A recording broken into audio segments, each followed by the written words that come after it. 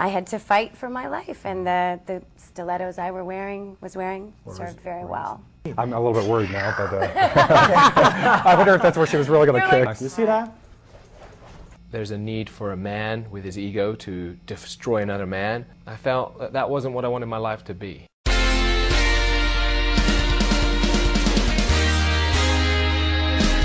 Did you know you're not armed if you're not carrying a knife or gun? Did you know even common fashion accessories such as high heels, a purse, or a belt can be used as weapons? Today, Kung Fu master Sifu Toy and actress Melanie Marden are here to show us how. And later in the show, actor Marcus Patrick will join us. Pleasure to have you here today, Sifu. Nice to have me. Melanie. Hi, Greg. So I hear you have been doing Kung Fu since before you could walk. Is that right? Uh, That's correct. Yeah, I'm, I'm the seventh generation of master from father to son. So uh, In fact, you told me that you were like the last living descendant of, of one Choi, of the, Choi family, yeah, one of the fi- five family uh, that has created kung fu. the, the- You said there are five families Yeah. that created Kung Fu, and you're the last living descendant. Of one of them, yeah. And you grew up in a, a Kung Fu household. That's correct. Our house was based on kung fu training, and every details of the house has been built regarding the kung fu training. And well, why don't you tell them what that means? Because you, you said beforehand that you had a 250 pound bag, Bag in the door. In the door uh, in my, of my room as Uh-huh. a door. Yeah, I need to get As a kid? As a kid, I need to get in my room using the left hand and then the right hand to go you out and push a 250 push it pound bag. How, how old were you when you were doing Ten. this? 10 years old, pushing the 250 pound bag every time you're going in and out of the door of, in your, and out. Yeah. of your bedroom. Uh-huh. So Karate Kid has nothing on you then. No, that's a piece of cake. my God. so you really have the whole family. But so now, so now you've got the whole armed and fashion thing going on. So you're turning your background from kung fu into really, so that someone, you know, no offense, Melanie, but we all, uh, you know, women is maybe not have the guys have a physical advantage over the women, Right. but you can even things out. yeah. First, I don't think men's have advantage about on, uh, on women, even on Okay. uh, on the on the thing, because kung fu master is not only for men. Sometimes there- there is women, and they are very powerful too. Really? Okay. But the basic of armed and fashion is to use what you wear to self-defense because people are trying to, to find something else like a dog, a bodyguard. You were talking about a bodyguard, a- Yeah. a dog, a Gun. a gun, and and all those things are not with you 24/7. You know. Right. Well, and I want to say, Melanie, you actually had an experience when you were living in Canada. You're I both did, Canada. Yeah.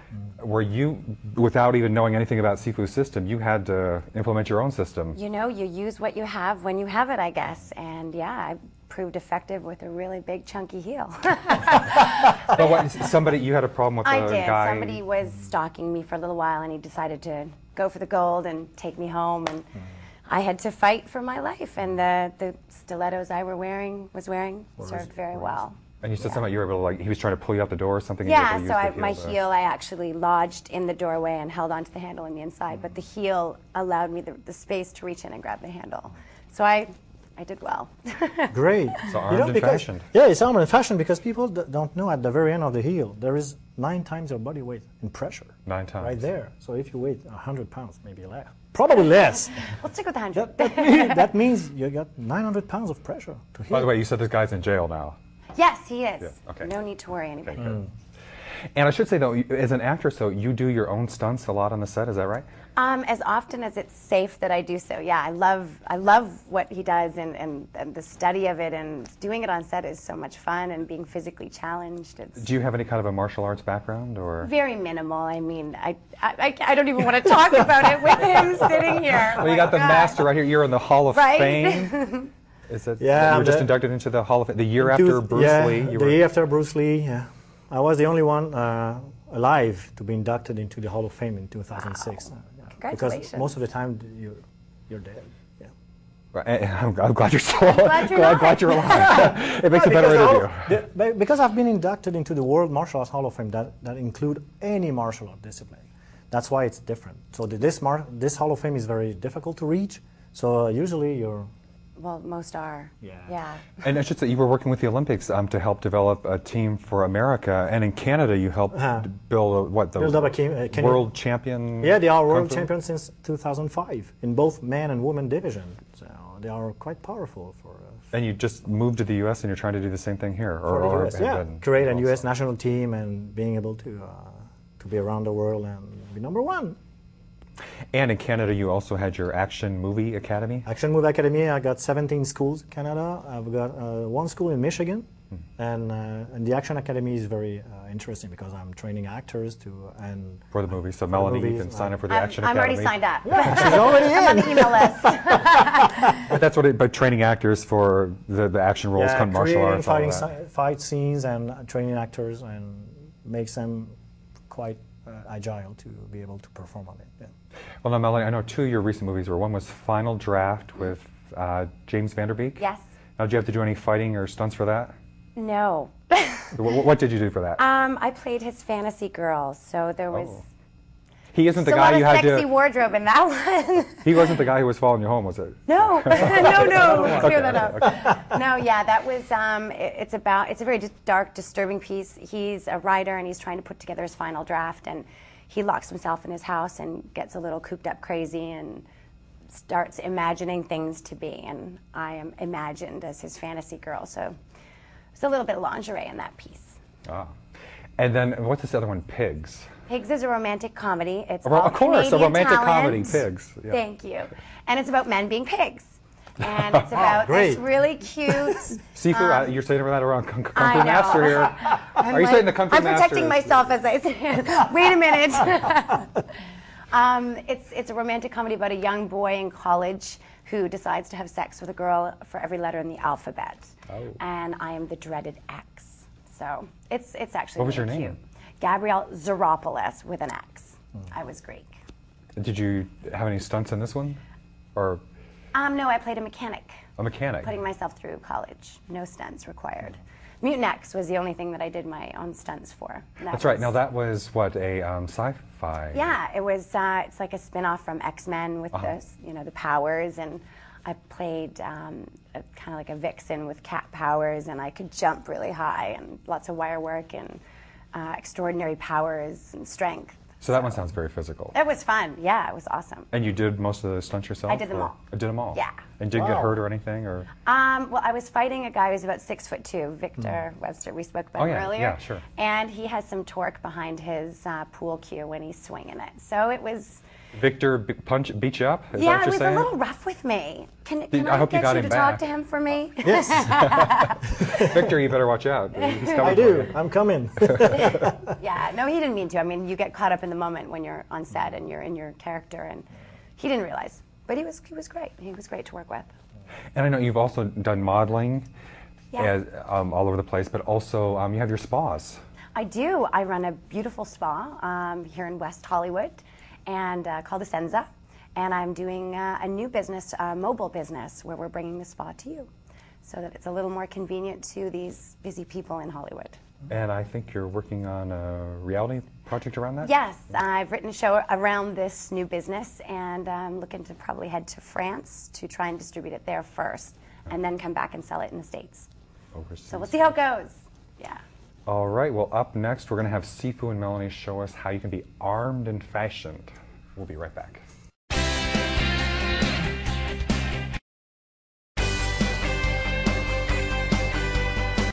And we are back. Today, Kung Fu Master Sifu Toy and actress Melanie Marden are going to show you how to be armed and fashioned, how common fashion accessories can help defend you in a sticky situation. So, what have you got for us, Sifu? Yeah, we got a, a purse. Everybody has, every lady has a purse. yeah, I was going to say, you know, Uh, I don't have but- mine today. So yeah, I- but I was thinking about the briefcase or the suitcase. Briefcase, okay. You can use it. Laptop it. case, Laptop yeah, case. yeah. That's a laptop. That's very good. You know, poof. That's very powerful. So what you need to know is how to use it. So you just bring it the power in front of you from the left to the right or right to the left. Then use the other hand to stop your purse and push it back. You see, Wow. and it goes really fast. And of course, those ladies have a bunch of stuff. So that makes the purse. I emptied it just for safety Oh, you emptied measures. it. Oh, you should. Okay. So So, the- we wouldn't kill anybody. Right. And even once it's, it's heavy, it's like a hammer, you know. So just Melanie Okay, can let's Okay, see I that going to do the this- demonstration here? All right. Okay, be Right. careful. You can aim Stand for him. Okay. Uh, I'm just going to you move want me out. to aim for him? no. I'm just going to get out of the way. All right, Whoever you aim for, I so don't it's care. as just going up and around. I'm going to stop You it with just this go, hand, right? yeah. What you do, you just go from the right side to Yeah. the left in front and use. Okay, so if the bad guy's there, then I'm going to go. Yeah, that's And correct. him. You see, that's easy stuff. You So just- but you still need to practice because when the, the purse is ver- is loaded, maybe you need to be aware of the power you need. Okay, so practice. And is, so what, what does this hand do? Why, you, why are you swinging into the hand? Why not Because- just swinging? No, because if you just swing it, It'll hit you. it will hit you. I see. Okay. You need to so stop don't, it. don't attack yourself. No, of course, and you want to be fast. You want to be as fast as possible. You know that's very important to be and stop the at the very end of the movement. The bad guy is right there. So if you hit the bad guy, then the purse doesn't. You don't need This could actually be like aerobics at home. Yeah. You could get up, you know, and you when you're watching the, TV. the you could be purse fitness swinging kung your fu training. Yeah. Yeah. You know, I'm thinking we should make a video. You should. He's got a DVD, by the way. Um, Armed and Right. Fashioned. Yeah, I'm quite sure we're going to do that. and there is another move I can show you. It's the upper move. Okay. Okay. You use it, and you do the same. You stop the purse with the hand, and then you see, pow. That's And fast. what is it? And you I hit mean- the chin. So you're aiming for the chin. Uh-huh. Okay. Oh, okay. So like an undercut. Uh huh. Go, mister. Wow, that's that very okay? good. Yeah, that's very good. I'm impressed. She's very powerful, you know. And this is only for self-defense, right? This is only for self-defense. Okay, yeah. Ah. Okay. And the, the the other move I can show you is the non-stop move. You use you use the H shape to do that. So you hit the guy from right to left, and you don't stop. You come back from left to right. But use all, always use the, uh, the the hand of the end part of the purse because it's more powerful. Because this way is not powerful enough. This way is more powerful. So it's good to carry a big purse. You should carry the bigger It's the purse, not the bad. better. Yeah, Not but you need to carry a purse that you will be able to use it. If it's too heavy and you're not able to to aim the bad guy with it. And do you just do whatever you can do in the situation, or is there a reason you use one of those, the eight versus There's a reason. the That's that's the basic of the training. Using the DVD to train because Okay. you need to know when you use specific tech- situations Yeah. about what the guy's doing. Yeah. Self-defense doesn't come without any training. Okay. Okay, people just think, "Wow, they want the magic stuff." It doesn't exist. You need to train. That's why we are called master. Well, what do we do? I mean, the purse is great, and I think it, it's a great weapon for girls. But what do we do if they're behind me? Aha, very good point. So what you need to use your high heel.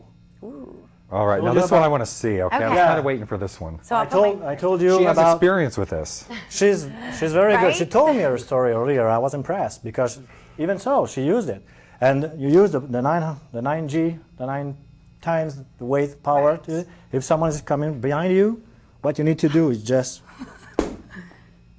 hmm kick on the top. go. Stomp Wow, on the. stomp Okay. yeah, on the foot. So that's it. Wow, you see, All right. that's over. But now you were actually hitting him with it. Oh no no no no, you weren't. You were no, blocking it, the door. It, I literally hooked my foot in a door In the door. I so see. that I could okay. stop him from taking me elsewhere. Mm-hmm. Now, do you do anything else with the shoe? You just. Yeah. So, I mean, I'm. This is this is the one work, kick. But that, okay, yeah, okay. it- it's working. It's very powerful because Okay. you can you can imagine if you're hit only by the heel. Oh yeah. It's Yeah. like, Oh, ooh, sure. Oh, it's very dangerous. I've stepped on it in my bedroom and it hurts, so I can't imagine being hit with it. So you can the, the basic thing is to know how to kicks Uh-huh. using the heel. Okay, so you need to get some balance to kick, knee up, and then kick using the heel. Bring the, the toes toward you. Okay. I don't wear high heels. No, that's do that's the same. anyway. If you have a men's shoe, the, the heel is very hard. Still. So I could Still, do it with can my you- tennies too. Of course. But the, the You're right. advantage, then they are Be advantages. warned. Yeah, and then they'll